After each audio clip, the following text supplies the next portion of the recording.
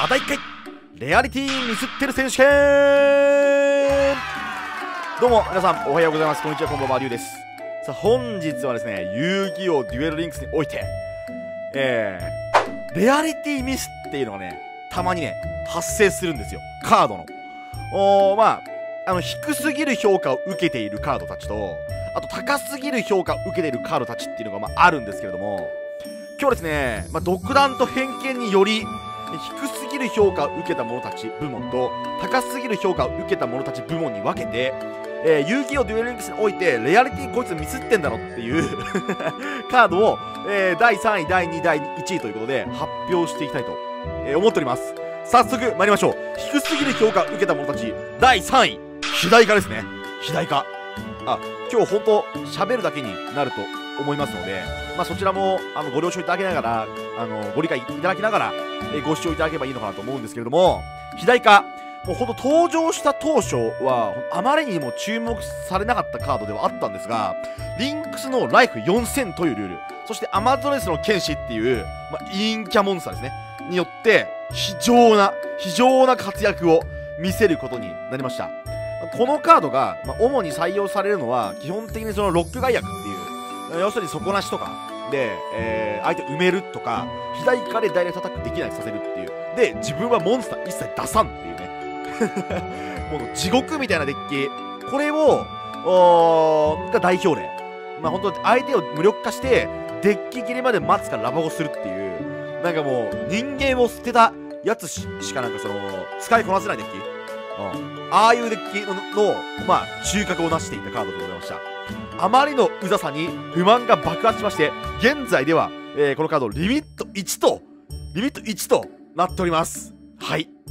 続きまして低すぎるレアリティ、えー、低すぎるレアリティ設定を受けたもの第2位生物を巡る戦いだと僕は思います。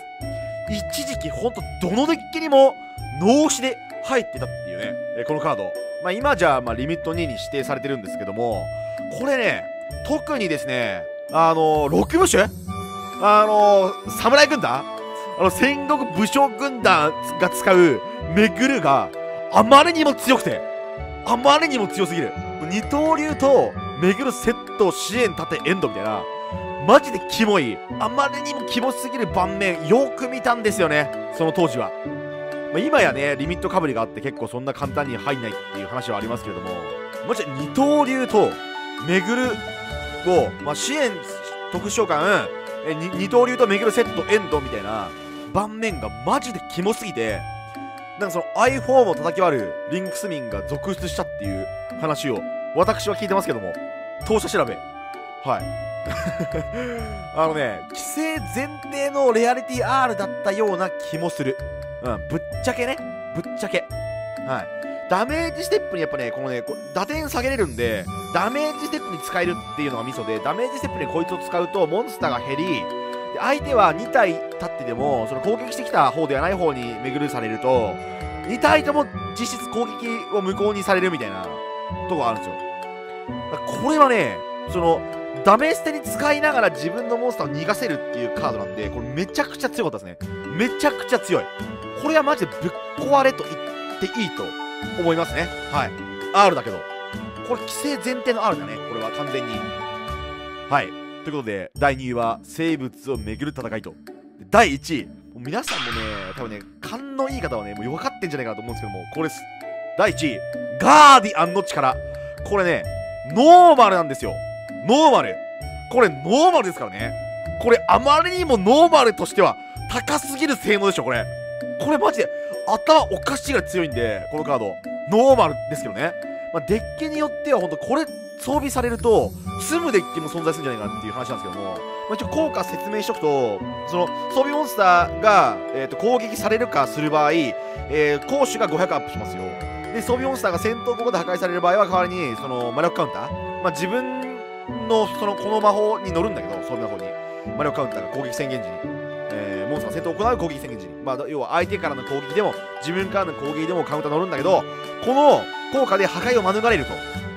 これやばいでしょ。これどう考えても N ではねえわ。まあ今規制とかにはなってないけどもこれ本当に強いですからねこのカード。リンクスでは。ランク戦ね最初の方だったらなんか適当なモンスター。適当になんか強そうなモンスターになんかこれつけて殴っとき勝てるっていうそういうレベル。うん。これ言い過ぎかな。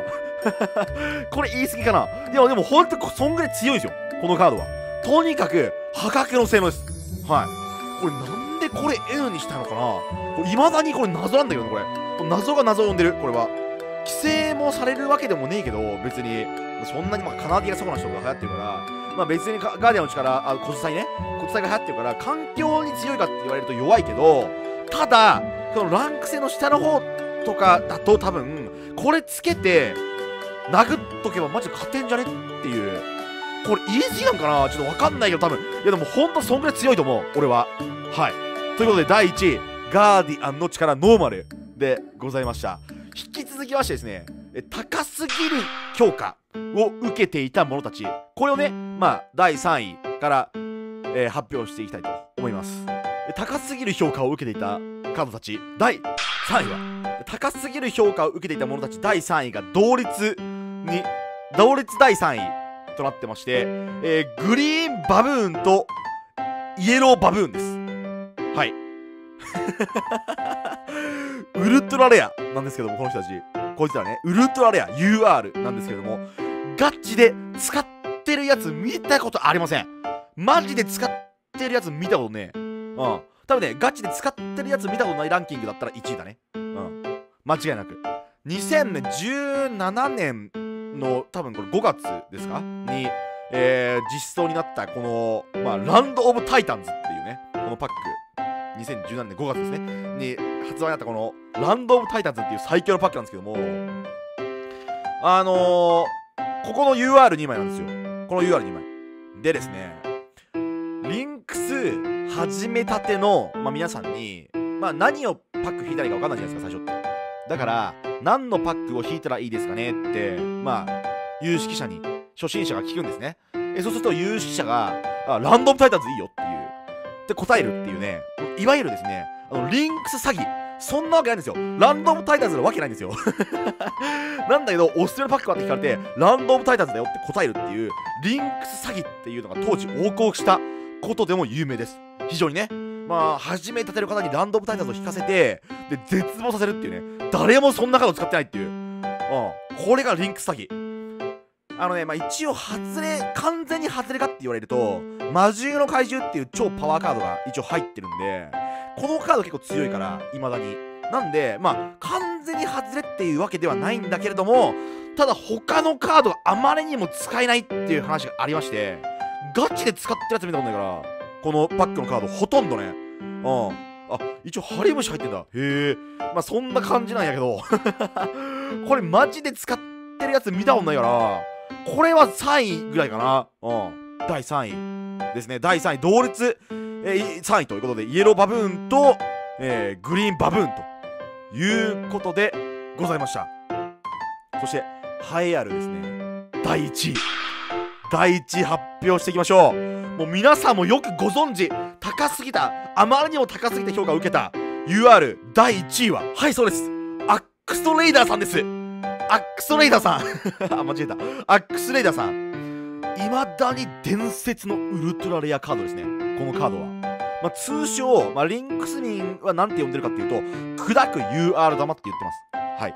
砕く UR 玉、まあ、どういうことかっていうと UR カードとかっていうのはあのそのカードトレーダーに売ることができるんですよ。カードトレーダーに売ると UR 玉とゴールドが手に入るんですよね。基本的には。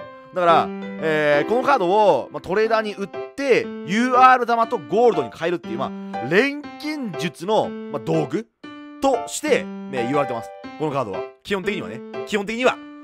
リンクスサービス開始当初はねめっちゃ強かったんですよ。ほんとなんかこの打点1700っていうその攻撃力が正義でそのリンクスサービス開始当初は本当アックスレイダーになんか援軍使っとけば誰でも勝てるって言われてたんですよね。マジっすこれ。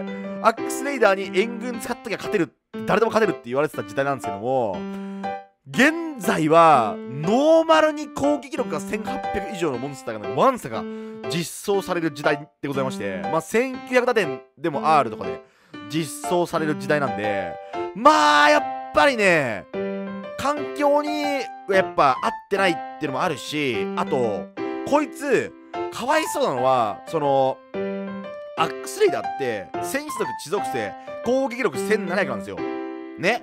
なんですけど城之内のストラクチャーにこれ結構誰でも手に入るストラクチャーがね安く手に入るストラクチャーがあるんですけどこの伝説の戦士っていうストラクチャーにこの X セイバーアナペレラっていうモンスターがいましてこれね地属性レベル4戦士族攻撃力1800なんですよ。これねガチでかわいそう。あまりにもかわいそう。これだって、まあ、戦士族地属性レベル4だったとかいう、まあ、一応なんかそのアイデンティティがまあまあそこそこあったような気がするんですけどアックスレイダーって1800の全く同じ属性種族のモンスターが出てきてしまったと。これほんまにかわいそうやんなこいつ。いやもう悲しくなるわ。悲しくなる。すんげえ悲しいもん今俺。泣きそう。っていうねそういうモンスターです。アックスレイダさん。はい。まあ、これは悲しきモンスターリンクスが生み出した最も悲しきモンスターですねこのカードは。はい。ということでえー、いかがでしたでしょうか？ちょっと早口で喋っちゃったんで聞き取りにくいとこあったら申し訳ないんですけども、低すぎる評価を受けた者たちと高すぎる評価を受けた者たちということでございました。このランキング私の独断と偏見によるランキングでございますんで皆さんもいやこれでしょみたいなのあると思うんですよ。ぜひですねそういったものをコメント欄に残しておいていただければ、えー、私、えー、後々の動画の参考になりますんでよかったらぜひよろしくお願いいたします。それではまた次のよくわからん企画動画でお会いしましょう。バイ